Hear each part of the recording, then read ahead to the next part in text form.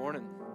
You know, if you give online, um, I'd encourage you during these times we take a little bit of, you know, just with the piano or whatever. Uh, I'd encourage you just to really take inventory of what you just did, what you sowed, and put yourself in remembrance of what you're given to the Lord. Because um, it's important for you to remember uh, that the Lord has your heart. And, um, and, and I just believe we'll see really good things uh, from that. So, um, before we pray, I just wanted to, I, I, wanted to remind you of something that I was myself reminded of. I'm uh, one of those guys that takes notes on a lot of things. I'm Pastor Nate. If you don't know, hey, we're glad to have you. I really, I am super, super amazing. Matter of fact, last night we just, it's amazing to see the church and just to be able to be a part of such a incredible group that God is putting together and building. Um, last night we got to play with our kids. It was father's, uh, not father daughter. It was father son night, and like for the kids, and we got to go hang out and play basketball and ping pong. I mean, it was just so fun. Dodgeball. It was tons of fun. My son was like, "Dad, that was awesome." You know, we get in the car, and then he told Mama on the phone when we were on the way home, and I said, "Was it just was it just awesome?" And he said, "No, it was really awesome," because that's what he told me. And it really was. What was so cool was there was, I don't know how many people, felt like got lots, right? Like 75, probably all kids and adults. I don't know how many people was there, but it was amazing just seeing uh, fathers loving kids. And, you know, sometimes, uh, man, sometimes even as a guy, you know, you're not, you don't realize, you know, that you're doing well. But let me tell you, we have so many guys, you're doing well. It's just, it's special to see. And I'm just uh, so thankful uh, for that. But, anyways, I was, I'm one of those guys that um, takes notes on things just whenever, sometimes I don't have my journal or just like, a, and if I do have a journal, it's one of the five that I'm in right now. How many of you are one of those people? Um, so there's good notes, and I have these all these sermons in stacks from. Uh, I used to only use a use that paper instead of a computer. It took me really long, and I still am not that fast of a typer compared to most. You know, like 18 Guam, right? Um, anyway, which is not good at all. But anyway, say all that to say, um, I keep these notes still because there's they, they, still speak. They still speak, and one of them. Um, that I had written down, and I was kind of cleaning out my office a little bit, and I had this post it note, and I had written down uh, about fishing. I love to fish. And I've been working on getting this uh, Pasha Lake men's fishing trip, all the info out. And so it was on this fishing note, uh, or on about Pasha Lake, and, and um, sometimes in life, and this is kind of the gist of it, sometimes in life, we're talking about, and I love to fish on the ocean. Like when I go down to Florida, I got to bring a fishing pole. I, if I tell Ev, which is my wife, if hey, I'm not going to fish this time, I'm just going to leave my fishing stuff at the house. We end up going to Walmart, spending $200 on fishing stuff so I can fish halfway through the week, okay? It just happens. So finally, i have learned, the, learned my lesson. I'm going to fish. I'm going to fish whether it's hot, I'm going to fish whether it's cold. Uh, yesterday, I was out at the pond, and my son Caleb was with me, and he said, Dad, you know, it seems like they don't bite as good in the winter. I said, I know. I was just hoping to get lucky today and and and we didn't. Um, but just this note was said this. You know, sometimes the tide is high, and sometimes the tide is low. But if we remember um, to just keep fishing, the tide won't won't affect us as much. Sometimes in life, things you're going to be going through some stuff that seems a little low. Sometimes you're going to be at high tide right? Like things are awesome. But if we'll just keep fishing, what'll happen is is we'll fulfill the purpose for which God created us. And and the waves and the wind and, and all those things won't affect us like like they would be intended to. Because sometimes it's the low that would wanna would want to take you out, but sometimes it is the high that causes you to no longer put your dependence upon the Lord. And um, anyway, so what is that? What is that? It just was reminded, man, keep fishing. Like, what's the point? I was actually uh, reminded of a conversation uh, of somebody, um, and they said, What are we doing, you know, about church? Like, you know, what are we doing at Beyond Church? Like, what are we doing? Like, what are we doing? And um, we're fishing. And if you're not, I'd tell you to start. Because that's what Jesus said come follow me, and I'll make you a fisher of man. So let's, let's get fishing. What does that look like? What does that look like? Uh, I, I, was reminded of just, just you know, leadership things this week. I, I, I'm not supposed to tell you what that looks like. That would be me putting you in a box. That'd be me giving you an assignment instead of giving you the purpose, giving you what we're called to do, giving you the goal. And that would be to reach one. So, what does that look like? I don't know. You tell me. And if you haven't put your mind on it for a while, I'd encourage you put your mind on it because that's where you're going to find fulfillment because that's what God created you for. What does it look like to reach one? I can't tell you that. That's what God set you in a place. And He said, I've given you this. Now steward that gift and steward that well. And I'm going to do the same thing. Lord, what does it look like to reach this one? And, and that's the goal. What does it look like if I was going to reach one this year? What does it look like? What would this church look like if you and I were just to reach one? This just one, just you and your family, like you were to reach one and, and extend as far as necessary. That's what I would say it looks like. What that looks like for you, I don't know. Maybe it's opening your mouth. Maybe it's starting a relationship. Maybe it's calling somebody back. I don't know. That's up to you. But I'll tell you what, well, um, you, you, we need to remember um, why we're here. And why we come here is so we can go out there. We got to remember these shirts that have arrows on it. Will you stand up, Chelsea, and turn around? We got this arrow on these shirts that's hanging around. It's on the signs. Thank you. It, it, the thing about the, this arrow is it's not just a brand. It's for us to remember that there's something in here. There's something in here that has to get out there. That's what we're called to do. Guys, that's, that's where life's found. That's where, that's where the, I'll find myself walking with God. And I'll find God show up in that situation. When I see Him show up with those people and in these prayers, I'll realize when I'm, when I'm praying for myself that I'm going to see and my confidence won't be shaken because I know He's the same and He's not a respecter of persons. I'm telling you guys, your faith will never grow, will never be strengthened unless it's activated. No more than weights upstairs will cre- create any change in this body unless I put my hand to Him. Guys, the victory that you're looking for, it's found in our faith. First John says, This is the victory that overcomes the world, even our faith. But listen, if faith isn't working, it's dead.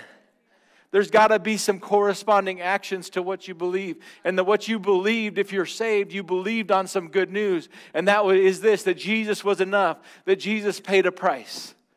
That Jesus paid a price and he paid a complete price. Hey, ushers, will you pass that, that, that out this morning? We're in a series. Uh, listen, uh, um, they're going to be passing out uh, some communion cups. And we're not going to take them right now. Um, it'll be towards the end of service. um, yeah. So as they're doing that, let's just pray before we get into the Word. Father, thank you so much uh, for just joining us here together. Thank you that you've uh, drew our hearts here to be here, and we just honor you this morning. We give you that high seat, and we just ask you to speak to speak to us we open our hearts to what you would have to say. In Jesus' name, amen. Amen. So we're in the series uh, just a, a couple weeks. I, you know, last week I talked about uh, sounding the alarm. And this wasn't a planned uh, uh, series. Matter of fact, I had something else that I had already planned. And I was I picking up on something in my heart and it just seemed to be confirmed and confirmed and confirmed again about uh, how, the, the, how the time is short, right? And Satan, when the time is short, he knows he's going to pull out every stop. He's going to he's gonna try to get all, he's going to do the full scale attack. And so there's this picture. I don't know, do you have the picture of that plane still? Uh, the, the, of the series graphic? I don't know, you can pull it up eventually. Um, but this is. Uh, that, that kind of that kind of deal, the understanding that Satan is warring, and as the time gets short, he wants to pull out, use every weapon that he has, right, in your life and, in my life. And so we're talking about just this offense, right? Offense. And I'm telling you what, uh, that's what really last week was. It wasn't so much preaching to get you to make a decision, but simply to sound the alarm. And uh, I, was I was talking with Landon and Jake uh, this week, and they were kind of giving me that smirk because my my alarm, you know, he said you put your hand over the mic where it made it really loud, and I was like, I know, and I did it really long, and then you were smiling on the front row, and because you started smiling, I just kept on because it was like, okay, we get the point, and I was like, yeah, you're gonna really get the point.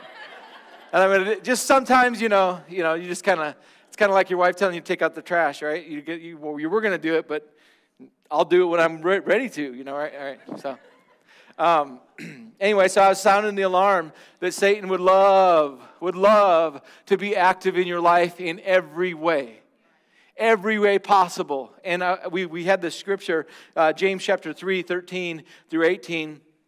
It says, Who is wise man and a dude with knowledge among you? Let him show out of a good conversation his works with meekness of wisdom. But if you have bitter envying um, and strife in your hearts, glory not and lie not against the truth, but the wisdom that's because the things that are going on inside is the wisdom that descends not from above, but is earthly, sensual, and devilish. Somebody say devilish.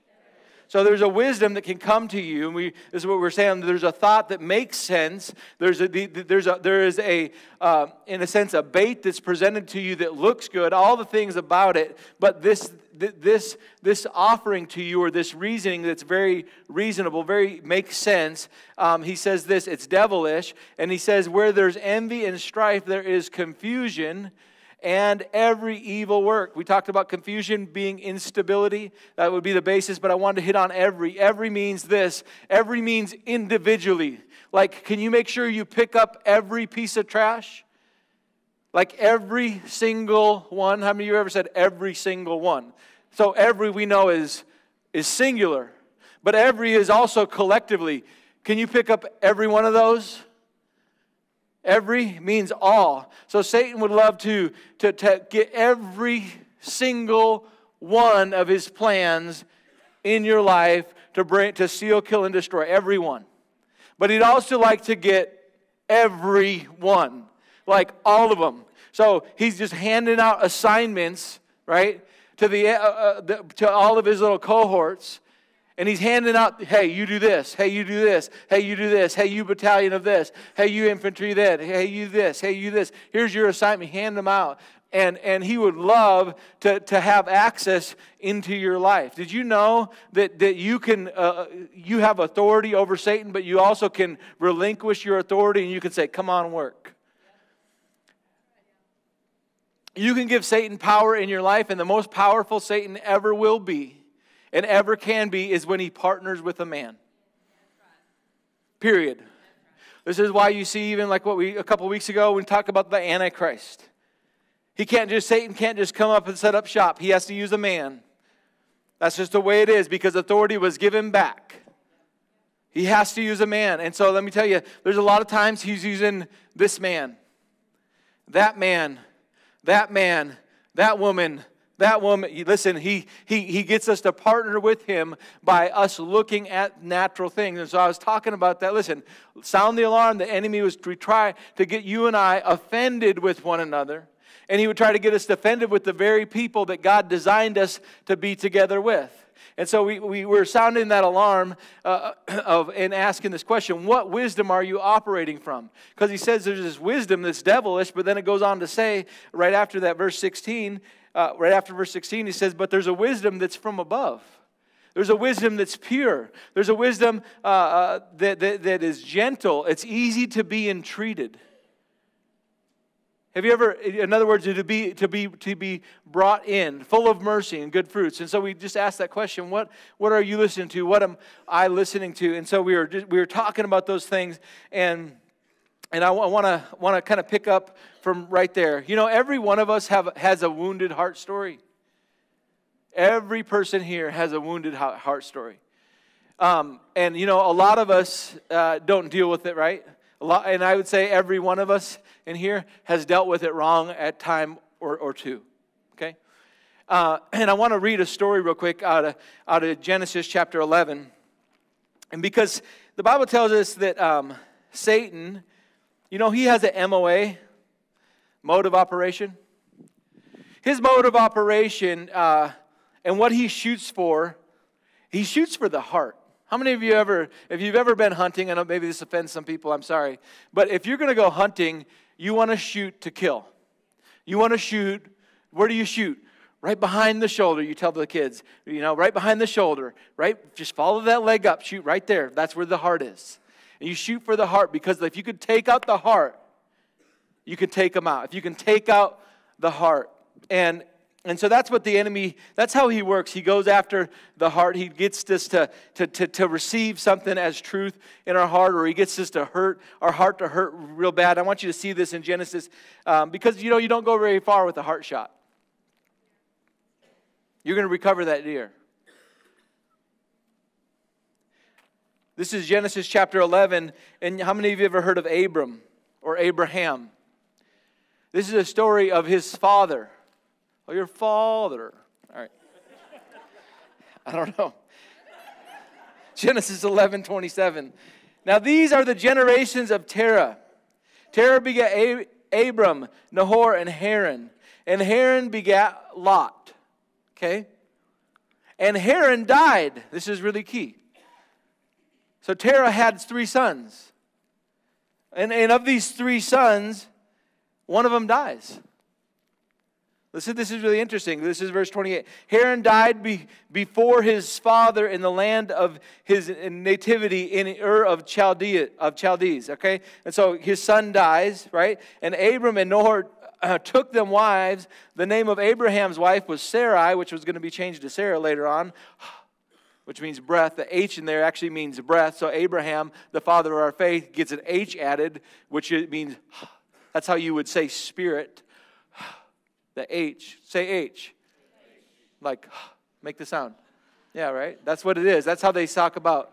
That's how, that's what is represented there is that Abraham, that's what's, if you look in the Greek, eh, or not the Greek, Hebrew. Anyway, very interesting. So Sarah becomes, or Sarai becomes Sarah, Sarah, both of them get the H added. And the name of uh, uh, Nahor's wife, uh, what, how do you say that? Milcah? Yeah, Milcah, the daughter of, of Haran, the father of Milcah and the father of Isaac. But Sarah was barren and she had no child. And, and Terah took Abram his son and Lot the son of Haran's wife, uh, or the son of Haran's, Haran, his son's son, and Sarah, his daughter in law, his son Abraham's wife. They went forth with them from Ur of Chaldees to go into a land of Canaan. So let me just say it this way without reading all these words because sometimes these words make you try I, am trying to communicate something that my words aren't doing or these words the way i'm reading them because i'm trying to hurry and they're backwards okay?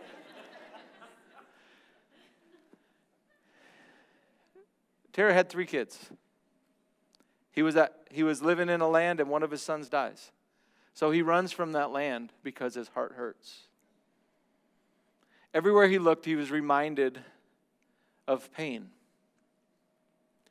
So he picks up his family, all of his family, his family, which would include both of his sons and their wives and their daughters, and says, Boys, these are the, this, this is what I have, this is what I love.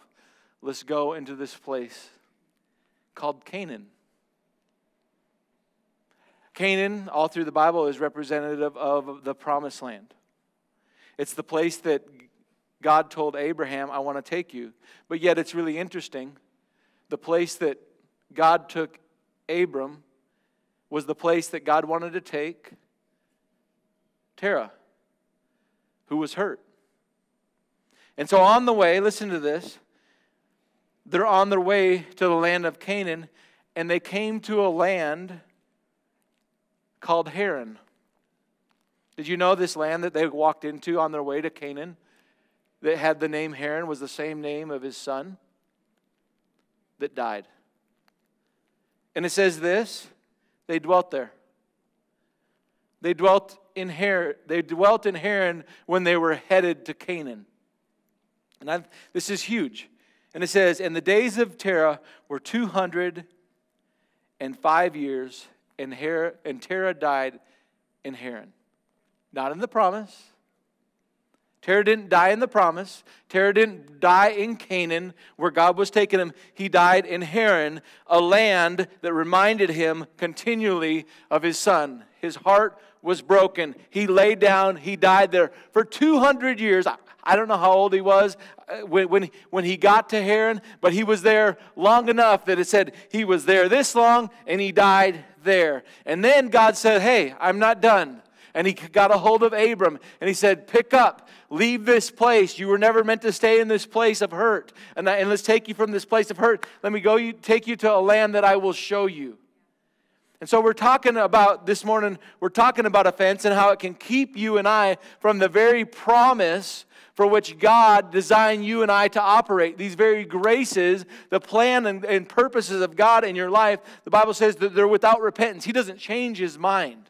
Okay? And, and, these gifts the bible says before you were ever born that, that he, he, he, and you were formed in your mother's womb he appointed you he prepared the bible says good things for you and i to walk in because he's good. The bible says in ephesians that for ages to come we're going to be talking about his goodness. But Satan has a MOA or a mode of operation. When, when we first see Jesus being tempted in the wilderness of Satan, it says that he stood up.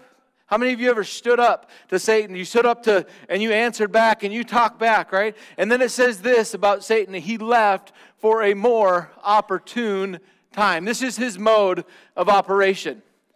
He leaves for a more opportune time.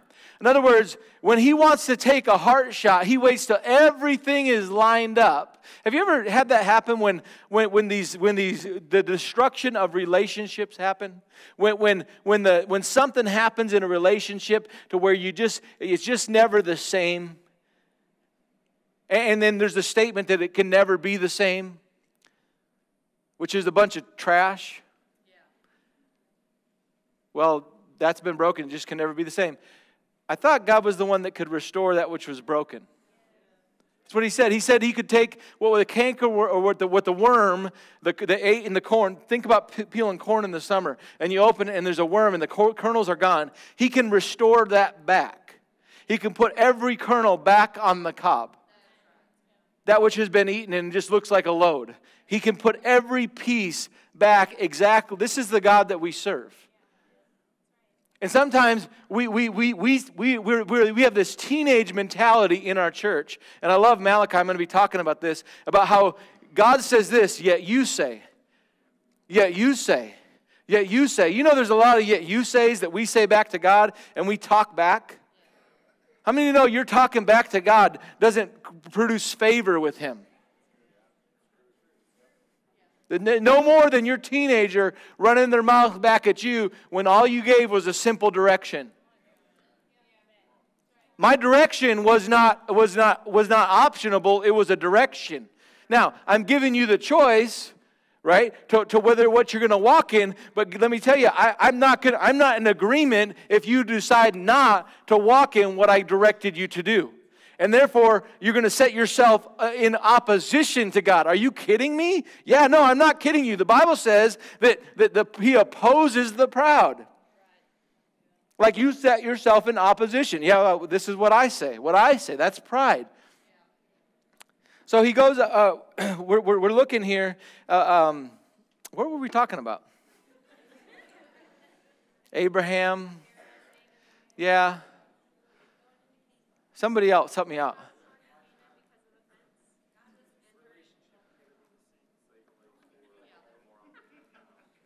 Yeah, more opportune time.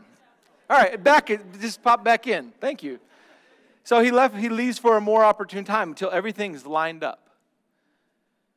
Did, Satan actually, in a sense, waits for God to do His work, get everything in place.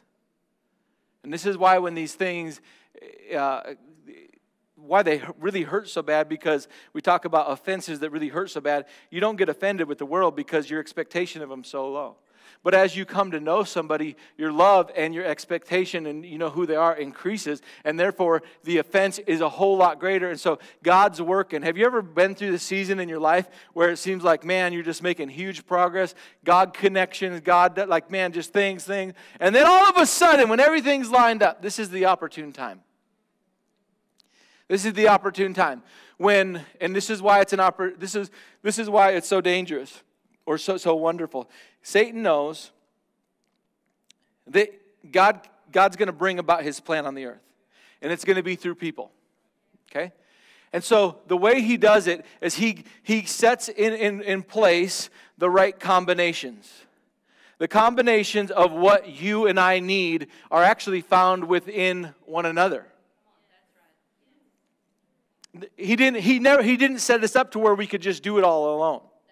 But he, he put these things on the inside of each and every one of us. And so Satan can sense when certain combinations, like the H and the 2 and the O, are coming together to create something that's never existed before, or an element that would, be, would be, uh, create great impact for the kingdom of God. And so you see these people that are aligned, and you see this, this guy and this family and this family coming together, coming, and you see the gifts and the graces, and, and there's a passion in their heart or, or things things that are going on. And, and just when they get together, Satan wants to try to create something so he can create a division and take and scar every one of those hearts. And then, therefore, no longer the combination that God put together, no longer will we be able to access what was in another and another and another because we're hurt, we're scarred, and our estimation of them has now changed. And if my estimation of somebody doesn't match what God says about them, I'm deceived. But if, if He gets my heart, if my heart is hurt, what my heart holds, my mind will remember. Haran, heart hurt. Haran, What my heart holds, my mind will remember. My voice will recall. And so, what I'll recall about them is not what God said about them, but I'll recall how they hurt me. And what in essence will happen is, is the very combination that God set up to unlock a grace that He prepared or a gift that He prepared before you were ever born, you will not have access to. If, this picture of the planes, I don't know, do we have that? Maybe it was up at one time. We don't. It got deleted. It's gonzo. All right. There was a picture of these, these planes that were dropping bombs, okay? This is the whole invasion series, two weeks, okay? These planes, the first thing you're going to do if you're going to wage war against somebody, you are going to take out what? Where, where, where are you? Communications, but what, what are you going to take out? Eh, what are we going to go take out? Probably their weapons. Maybe that would be the place to hit them. Eliminate their weapons, they can't fight. Did you know the combinations that God has placed against this to storm the gates of hell and to bring the kingdom is combinations of people? It's combinations of, of this one and that one and this one. But if there's static, if there's hurt, if there's these kind of things, what happens is our estimation doesn't match God's. And what happens is, is the Bible says, where there's strife and discord. Strife simply means this to place, it's like this picture of king on the mountain. Who's going to be on top of who? I'm right. No, you're right. No, I'm or I'm right. No, I'm right. No, I'm right. They did this placing of over the top of one another instead of doing what God said, and that is what? Surrendering sitting down, coming underneath. And, and, and I didn't say change the value of you. I've said say what God says about you and what God says about them. What you'll find is you'll find yourself placing yourself under. And I did this analogy of this pour, right? There can be things in the pitcher in, in the Kool Aid jug. Listen, but as much as you want the Kool Aid, as much as you want this soda pop, unless, unless you're willing to position that cup, that vessel, this vessel full, everyone in here, the Bible tells us that we're vessels, we're containers. We, there are things that you and I carry that are graces and gifts of God that He gave to you. Listen, but unless unless I position myself and honor what God honors, I'll never access the things that are in them and therefore walk in the fulfillment that God desires for my life. Satan knows how to get you and keep you from be from from in a sense that that combination that turn the lock. How many of you know if you ever done one of those master locks where you turn it this way and this way and this way, if you're off by just one number, if your estimation doesn't match what's on the box, you're not getting into that lock. As hard as you want it, as much as you want it, as much as God loves you and has given it to you. God, and we blame God for not getting in, into some of the things that we that that we want in our life. But the fact of the matter is, they're all around us. And there are combinations, there are things that God has given somebody that He's not going to give to you. He gave it to you in them. And unless you unlock it, unless you, uh, unless you uh, choose, choose to realize the enemy at work and let God do some repair and etch in your heart and in your mind that combination again, you will not access it. So this morning, I, I, want to, uh, the title of this morning's message is this Contemplate. Contemplate. How many of you ever contemplated? I just don't know why. I just don't know. I can't see why. I can't see how they. How many of you ever done, went over over again and again? How many of you have been feeding on an offense? How many of you ever have been feed, have ever fed on an offense? Let me show you what it looks like. I, I, I just don't know why they would have said that. I, I can't believe that they wouldn't, they wouldn't have been here. Don't they know? I can't, I can't believe if they loved me, they would have. It's, it's, they, they would have done this or they wouldn't have done this. How many of you know you can't win when someone says, Well, if you would have or you wouldn't have? Well, what do you want me to do? It has nothing to do with the other person. It has everything to do with you and your heart. So contemplate. What have I been contemplating? What have I been feeding on? And, and so, really, this whole message this morning was talking about okay, so I'm offended. Yeah, I'm ticked off at that person because of what they did. Yeah, that relationship and blah, blah. There are people that you have written off, there are combinations that God started and, and, and, and just whatever. But let me tell you, this is how it starts. It starts like this offense starts. And from offense, you go to betrayal. Betrayal, sometimes we don't know what that means. It simply means I'm going to do whatever it takes to preserve me over the relationship, preserve me over the nation, preserve me. This is what happens. Offense leads to betrayal, to where now I'm only, my eyes are only on myself. And from that place of that, I go to hate. And hate simply means love less. I'll move to the place where there's just no love, no feeling for them at, at all. Or there is like immense hate, but sometimes it's just emotionless. Did you know that there is an emotion that comes with love? There's a, there's a, there's a how you do it, right? There's a, there's a, there is something where your heart actually says you want to embrace them. There's, and, so there, hate just simply means love less. Like, there, there's a, story in, in the Bible of one of David's sons that, and how they didn't like each other, but no one ever knew it. Because he didn't show disdain for him. He just didn't show love for him. He just, whatever.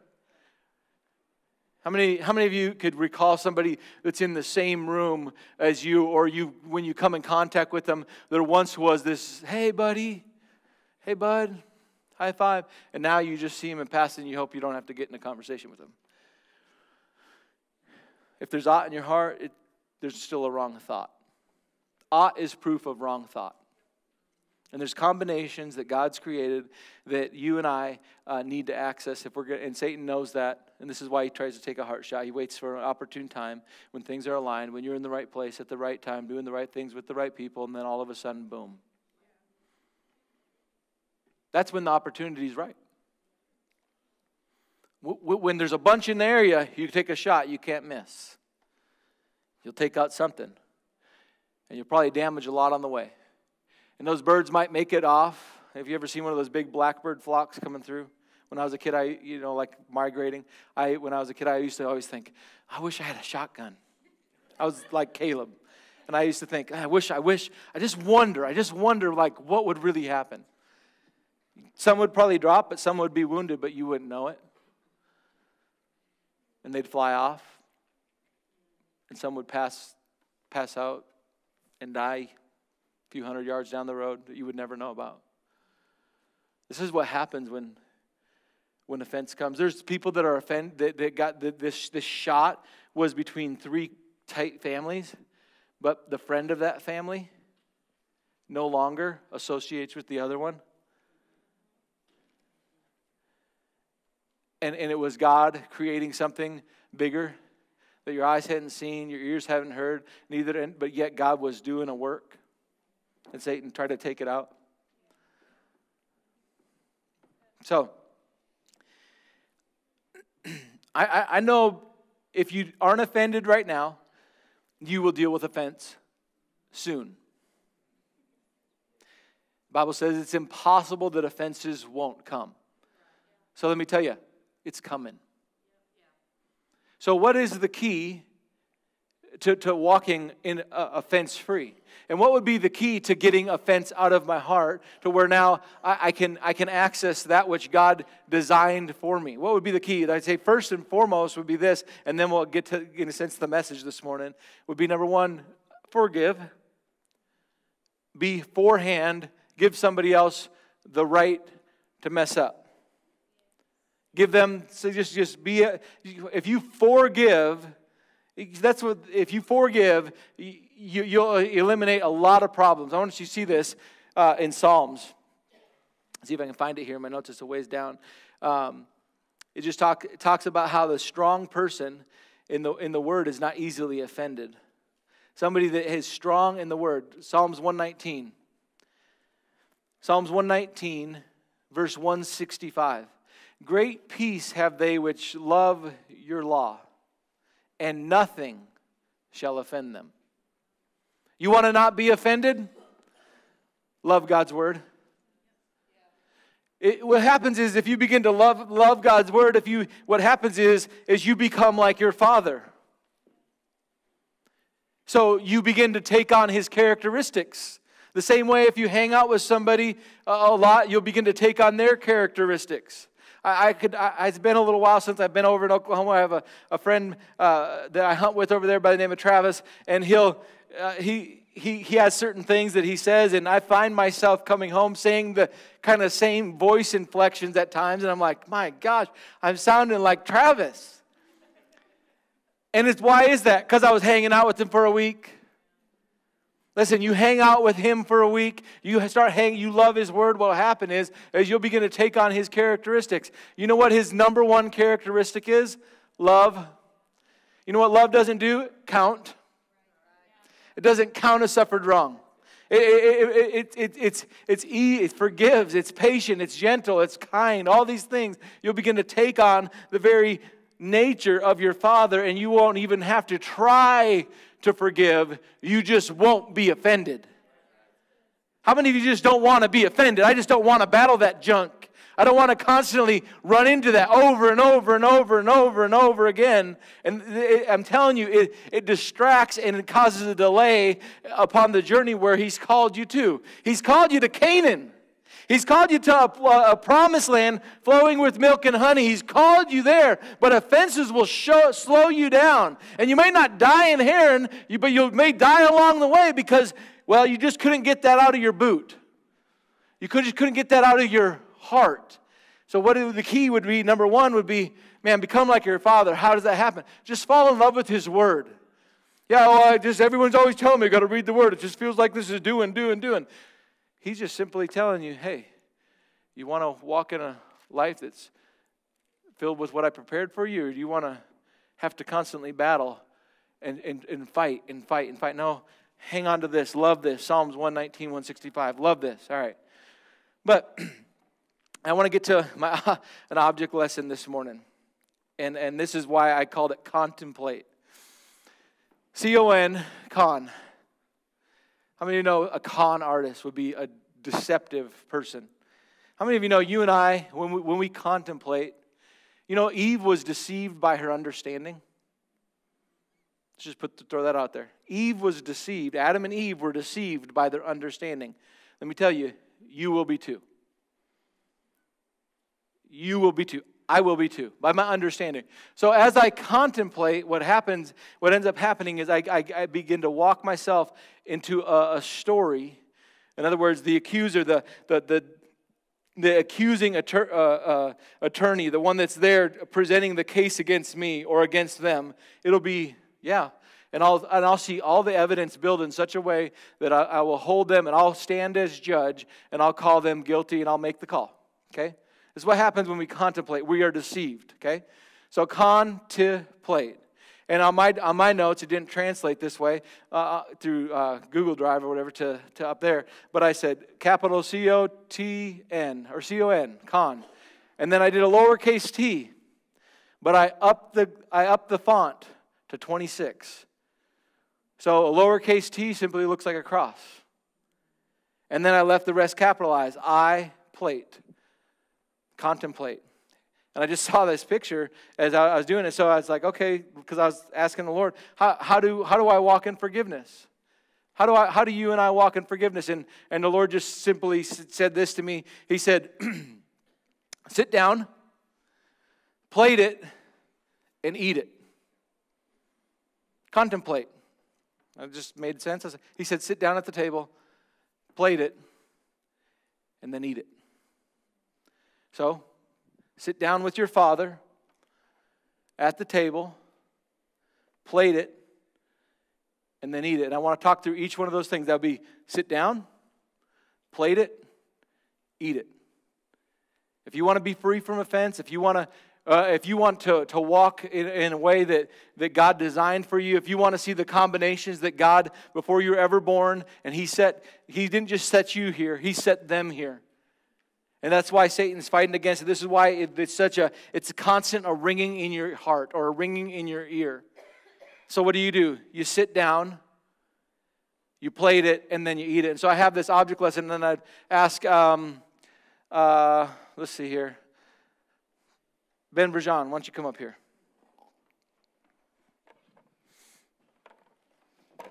Sit down.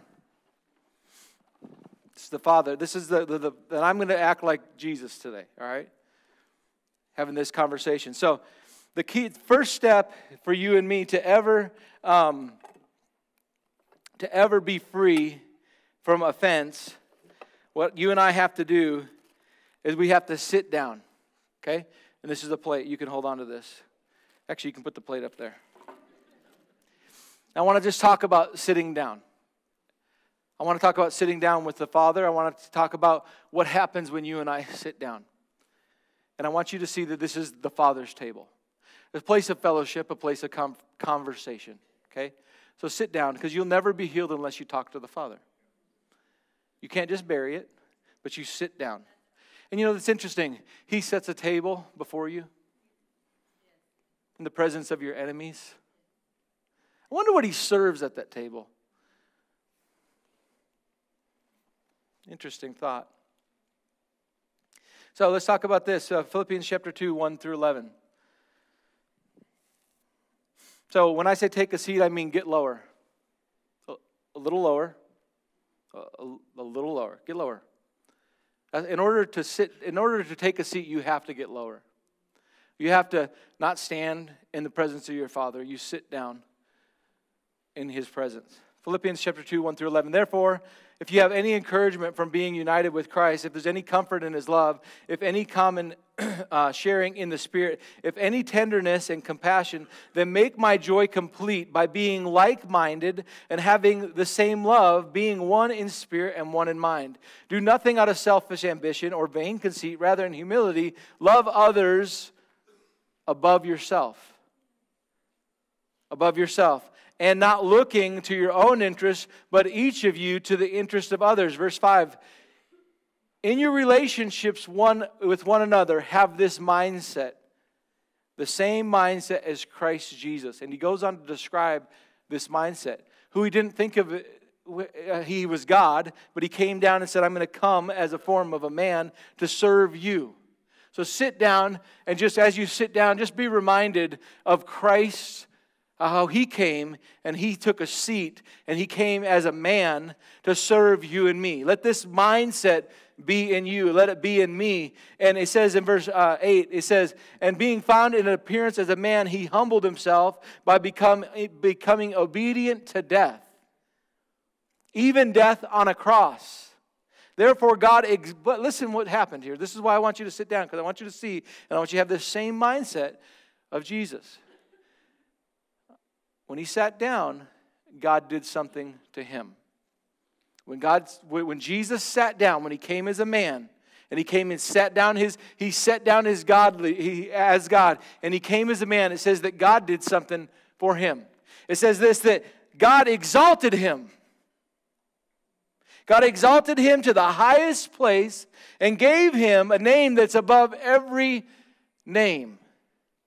This is what god you this is right here this position sitting down to hear what the father has to say is, is, is you, your key to having god move on your behalf partnering with him to set you in a place that you couldn't put yourself.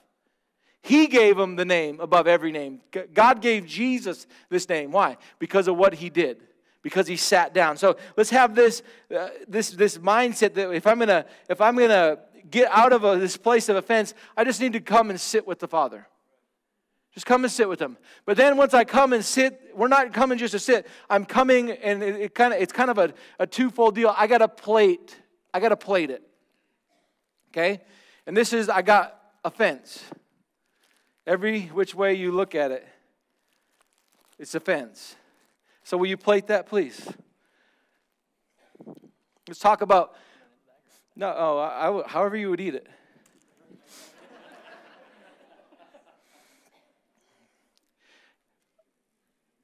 Walking in forgiveness takes me presenting my case to the Father. Here's what I love. All through the Bible, you see Satan as the accuser. He's presenting a case, he's, or he's twisting. I mean, he, that's his very name. Every time he says his name, he's a twister, okay? And you know, we can be deceived. But you know who's not? The judge. Judge isn't deceived. That's why he sits up there, because he's wise, he's all knowing. So he sits on that place, and, and you're sitting with the judge here. It's just pretty pretty powerful thought that you and I get to sit down with um, with the judge. So you're going to plate your offense. Man, it does. It sounds. And here's would be the father's response. Man, it does sound like they did you wrong. Man, wow, that is, that is intense. The story that you're presenting to the judge. Now, the judge, he tells you Romans chapter 12, verse 19. He says, um, sounds like they, they did you real wrong. Um, but I, I, don't want you to avenge yourself. Uh, beloved, leave room for God. Let me, let me, let me avenge be your avenger. And let me, let me uh, avenge for you, for vengeance is mine, says God. Yeah, get them, God. How many of you ever just thought that? I wish God, I could just get them, God. It's like, hey, buddy, I see how they did you wrong, and I'm just, okay? I know. I see it. I see that. I just want to remind you don't take it into your own hands because vengeance is mine. I'll take care of them. How about you just pray that prayer? Pray the prayer God, deal with them. Take out your vengeance upon them and your wrath on them the same way you did to me. Do it the same way you did to me. Make that your prayer because you can't have what you didn't ask for. Make it your prayer that I would do the same thing, that I would take, matter of fact, you, this, this, this conversation we've been having, you've been telling me how this offense is, uh, is all their fault. Why don't you cut that, that, that sandwich to show me how much of it was their fault? Is it half of it their fault? Because that kind of seemed like there was a lot more the way you were talking pretty much most of it.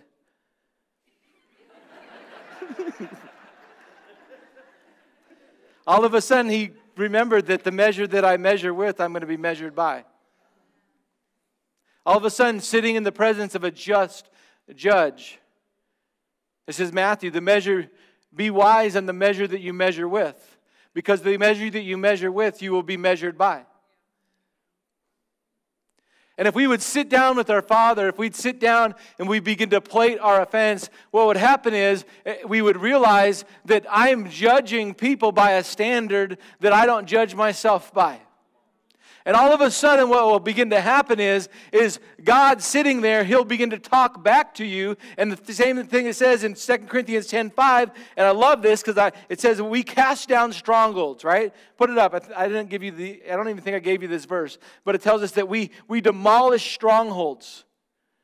We take every strong, these things captive and bring them to the obedience of Christ. By what? By continuing to preach the word, and this is even this morning, my prayer was this by, pray, by teaching the word, what's happening is, by your permission or not, because you sat down in that chair, the word of God was presented. And the same way he sat at a table, he heard what the Father said, and when he was presenting his case and saying, God, deal with them. They heard, he heard what God was saying when I said, cut the sandwich because that's how I'm going to deal with you. You're sitting there and you get to hear the Word of God that has the ability to cast down strongholds. Paul didn't say, You do it. He said, I'm doing it. I wish I could show you here where he said, and take some time here, but where Paul, what he was declaring was that we take, we, we're, we're doing it for you. When we bring the Word of God, we're doing it for you. When I speak the word of God, yeah, we should do it for ourselves and bring them to the obedience of Christ. But by simply telling you the truth, I'm able to, to, to cast down some strongholds. I'm able to come to your aid. God is, by the word of God, is being presented and able to free you from these strongholds, which is simply the place that's in your mind where you've agreed with something that is contrary to what God has said. But you hear what God has said, and in your heart you go, yeah. And all of a sudden it's kind of like you know, you were like this in your mind and because you heard what God said again. Because you sat with the Father, you cut your sandwich, and have you ever had anybody talk and they're talking and they got their knife in their hand while they're talking, you know, and you're like, put that down? And they might even just do this, you know? That was Landon. All right. Let me show you a couple uh, a couple of things as you played it because I, w- I want you to play this with, I want us to go through this exercise with the Lord today. I want us to sit down with the Lord and I want us to play um, our offense, present it before Him. Uh, and, and, I want you to remember um, the Lord your defender. I want you to be mindful of the, me- the measure that you measure with. Um, and then I want to remind you of Matthew chapter 18, where Jesus said this. He said, I tell you not seven times, but 77 times seven. Therefore, the kingdom of heaven is like a man or a king who went to settle accounts with his servants. And you've maybe heard this story, but I'm going to let you hear it again. And as he began to settle the man who owed him 10,000 bags of gold, it was brought to him. And since he was not able to pay, the master ordered him and his wife and his children and, and to be sold to pay the debt. And at that, the servant fell at his feet and said, Lord, be patient with me, he begged. Be patient with me, and I will pay back everything. Sometimes we're waiting for somebody else to pay back. Here's the Lord's response The servant's master took pity on him, canceled the debt. Canceled the debt and let him go. But when the servant went out, he found one of his fellow servants who owed him a hundred silver coins. He grabbed him and began to choke him. Pay back what you owe me, he demanded. His fellow servant fell on his knees and begged him, Be patient with me, I'll pay you back. But he refused, and instead, he went off and had the man thrown into prison until he could pay the debt. When the other servants saw what had happened, they were outraged and went and told their masters everything that had happened. Then the master called the servant in. You wicked servant, he said. He's talking to servants. This is not talking to the world, he's talking to servants. So I'm talking to the church this morning. He said, You wicked servant. I canceled all the debt of, you, of yours because you asked me. God, forgive me. He says, Shouldn't you have had mercy on your fellow servants that I had? Verse 34 In anger, his master handed him over to the jail sayers, now, uh, the, the jailers rather, to be tortured until he could pay back what he owed. I want to define that, that jailers. The word there, the jailers, is simply the torturers that would stretch a man until truth came out. In a sense, the same thing that you see Paul saying uh, turn him over to Satan for the destruction of his flesh, so that in, in the end his soul would be saved. In other words, I can't stand with you if you're gonna if you're gonna sit here and you're gonna present a case and you're gonna judge uh, uh by somebody by a standard that you weren't judged. What's gonna happen is you're gonna set yourself in opposition to me, and I'm gonna have to take a step back away from making a way for you until until what happens is you spew forth the truth, or the truth is never found in you. Did you know you can die in a place that, that, where God created you can still go to heaven, but never walk in, into what He created you for because you were never, as much as stuff that you go through, you blame it on God, you blame it on them. Listen, it's it's your choice. And the master said, I'm turning you over to a, a place. It's the same thing you see where, where uh, God opposes the proud. You see the same thing with Paul. This is not a one time, this is, this is scripture. Sometimes we don't want to hear hard things because the fact of the matter is, if you come to church and you don't leave having to make a choice, you probably didn't hear the word. I set before you life and death, blessing and cursing. Choose life. God says, choose life. How do you want me to deal with you? And he said, and he puts it out, and he goes on to say this: tortured until you should pay him back. This is how I deal, how the heavenly Father will treat each of you, unless you forgive your brother from the from the See, forgiveness is of the heart. Doesn't make sense in the head. And as long as we stay in the head, as long as we stay, stay up and present our case and we st- we're, the, we're the prosecutor, instead of taking the seat and letting God begin to question us, we present our case and then the judge begins to question us, we'll never access because why? When he, when he begins to speak, he speaks to our heart. You're hearing this morning when the word is coming out and he's talking about how he judged you. I didn't talk to your head. All of a sudden, I hit you in the heart. Why? Because the word of God hits us in the heart. And that's the only place I can be healed. Because of what my heart holds, my mind will recall and my mouth will voice. And he wants to heal our heart. So what he does is he while this is going on, he plates it and, and he takes I love this. And in this conversation, this is what's going on. And he's listening because I love how the Father sets a table for you and, and he serves you, but yet it's a table for two the way that he does it, he, it's a table for two. And as he's talking to you and he's telling you about how much he loves you and, and he's telling you uh, uh, of all that he's done for you. And, and he's, he's showing you that, hey, listen, I believe in you. He's, he's taken uh, his lunch out and he's setting it down and he breaks it and he lets it down right there. And he, as he sets that down there, he says, well, it's going to be a little dry if we don't have something else. And he pours it down and, and he lays it out right here just like this. And he says, hey, bud, take Take, eat.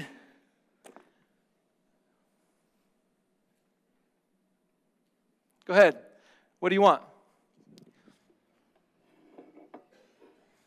Go ahead and take. You, you have whichever one you want. I'll, I'll take the other. Have whichever, whatever one you want, you can have. I'll take the other. Because I, I want you to see what, what this is Paul talking. And he says this, and I got For I receive what I'm giving you right now, and I'm reading this right out of Scripture. Um, for I received from the Lord what I'm passing on to you today. 1 Corinthians 11 23. I received from the Lord what I'm passing on to all of you today. The Lord Jesus, on the night which he was betrayed, he took bread and he, he broke it. And when he had given thanks, he broke it and said that this is my body, which is given for you. Do this in remembrance of me. Listen to Isaiah 53 when we talk about the body. This is what we need to remember when the bread is laid before us, when his body is laid before us. 53, verse 5. But because of our sins, because of what you and I have done wrong, I, I was wounded. I was beaten because of the evil that, that you did. And we're healed by the punishments that I, you can be healed by the punishments that I suffered. There is punishments that you've been suffering from offenses that you can't bear and you were never meant to bear. But it's because you've been eating them. We're healed. We're healed. This is the passage that says, and by his stripes we're healed. Sometimes we only refer that to our body and our ailments. But what about your heart? What if your heart is sick? What if your heart is damaged? What if your heart has holes? This is why his body was broken. It was set there. In the same way, healed by the punishment he suffered and made whole, made whole by the blows that he received. In the same way, after supper, he took the cup. And he said, This cup right here, this is my blood. The blood of my covenant, which is poured out for many for the, for the forgiveness of your sins.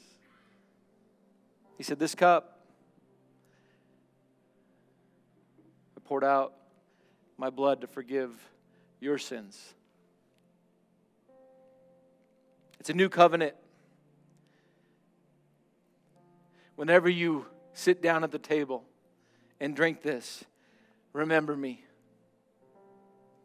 and proclaim the Lord's death until I come or until He comes. This is a picture of when we sit down with Him, we sit down, we plate it, and then we take and eat. And what will happen is every time I enter a conversation with the Lord and I place myself down and say, find out what He has to say, I position myself to receive what He offers to another. You see, my love for somebody is only because of His love in me. And unless I receive His love for me, see, the person that can't forgive is just forgotten what they've been forgiven of. We stumble uh, over offenses and all these kind of things. Because the fact of the matter is, and this is why it happens and when it happens, when we've stopped sitting with Him. If you're offended this morning, if you are in a place of just, I'm talking to any relationship, there's, path, listen, it won't be a problem. You won't stumble every day if you'll sit with Him. And that's what I saw this morning in my heart. Matter of fact, I, I wanted to do it. I didn't know if we'd have time. And so, uh, and I think I'm already past time. I don't even know what time it is. Way past. Praise the Lord. Praise the Lord. I'm really great at that.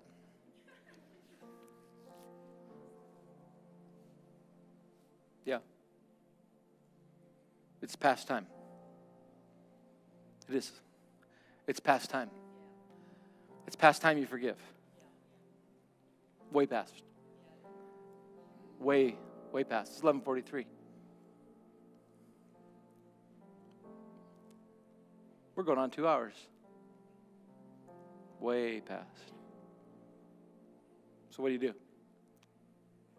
You get up from the table? What do you do? Or do you eat? Are we going to get up from the table? You have one, I'll have the other. What do you want today?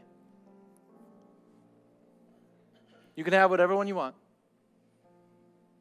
But I'm telling you, this one right here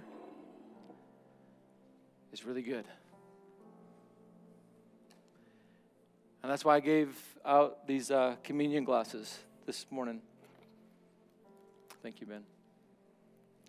Is uh, just take a take inventory. I know that the, hopefully this morning, throughout the whole message, you were taking inventory of, Lord, what are you saying to me? Wrong measuring stick? I don't know. Maybe just He was saying this to you this morning. I love you. I love you. See, that's what happens when we sit down and he plates his plate. in, in this bread, I didn't hear about all my sins. I heard about a payment that he took. I heard about his love for me. I've heard about his love for me. As I hear about his love for me, what happens is I'm filled again with his love. I'm filled again with that that I couldn't do on my own. I couldn't release myself of my debts. Why are we trying to release others of theirs on our own? We got to stop that. We need to sit down. We need to hear about the love of God for us again. And from that place, by faith, make a declaration Father, I forgive them. I forgive them. For today, for yesterday, for tomorrow. And then we'll begin saying what He says about them. And you'll be amazed at how God unlocks the very thing that the enemy tries to destroy. And you'll walk in things that you never thought possible, but yet your heart saw pictures of. So, we're to receive communion. You can keep playing if that would be great. We're going to, and we'll close with this. I am no victim.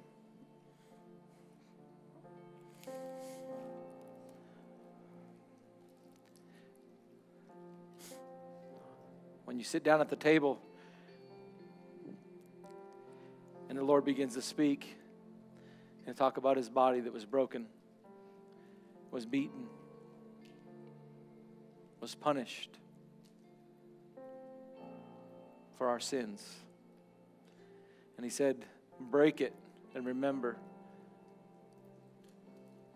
that I paid your price. Father, thank you.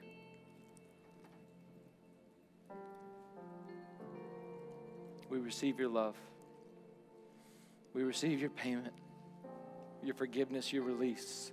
Thank you for releasing us and paying a price that we couldn't pay.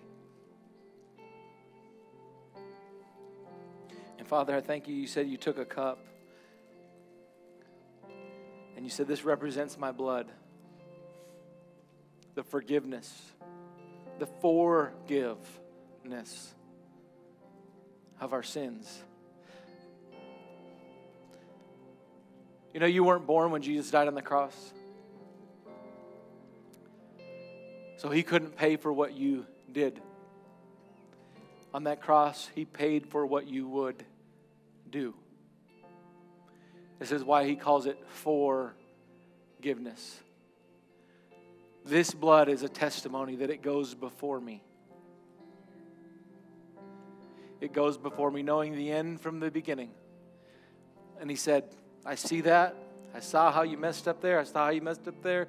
I saw how you messed up there. And the thing that you don't even know that's going to happen and where you're going to fall short tomorrow or next year. He said, I forgive you of that. I forgive you. And this cup, this blood, testifies of me going ahead of your greatest mistake and telling you that I love you and I forgive you and just receive it in Jesus' name. Father, thank you this morning. We receive what you say about us. We just lift our hands and our hearts before you. And we just say, Thank you. Thank you for forgiving us of every sin of all of our shortcomings, of all the places we have yet to fall short. Thank you for being so good, for being full of mercy. Fill us today with your love. Let others see you because they see your love in us for one another. In Jesus' name. Amen. If you still need to go home and do some business at the table and you find yourself facing the same thing over and over again, take the stand again. Let him begin to speak. Let him remind you of your love, his love for you. And you'll see what you hadn't seen. Let him peel back some layers, and you'll be healed. And the Bible says, pray for one another. So that's the next step. You sat down. Now, uh, as you go today, if, if anyone that was brought to your heart, pray for them that you may be healed. See, it's one thing to get the burr out, it's another thing for that wound to close, to where it wouldn't get infected again. Pray for one another that you would be healed. So, what do I pray? Pray for them what you would for your family. Pray for them what you would over your finances. Pray for them what you would over your children. Pray for them what you would over your business. Pray for them what you would for your destiny and fulfilling the plan of God for your life. Pray for them, and you'll be healed, and you won't stumble, and you'll walk in that place. America, not America. Canaan, promised land, that which God has called you to and said, This is what I prepared for you. A place that's flowing with things you didn't build, things you didn't make, grapes bigger than pomegranates. Amen. God bless you guys. Sorry for keeping you a little longer today. But we'll see you uh, Tuesday night and uh, Wednesday. Uh, Tuesday night of prayer and Wednesday, uh, first Wednesday. Don't forget to order your Chick fil A.